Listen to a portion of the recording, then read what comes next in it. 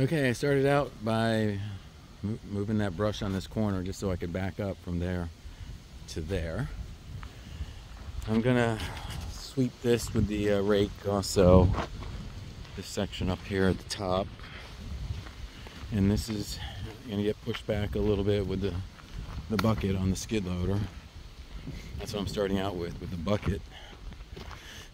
and then um, obviously all these branches kind of sticking out in the road. I'm gonna lop them off too. I don't think he's gonna have any reason to complain after I leave, even today.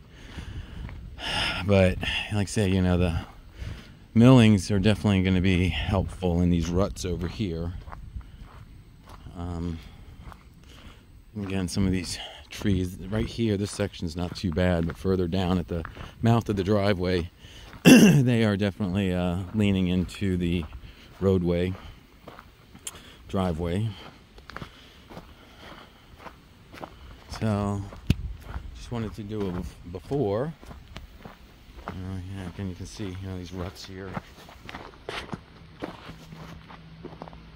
Ruts here. Rut there. There's other ruts further down too. Actually, I'll just go ahead and walk it.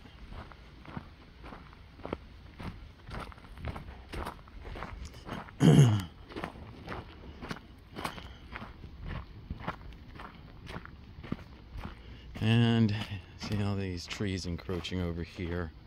I'll just push them back with the skid loader bucket. okay, so this is the driveway, the before. I'll make an after when I finish.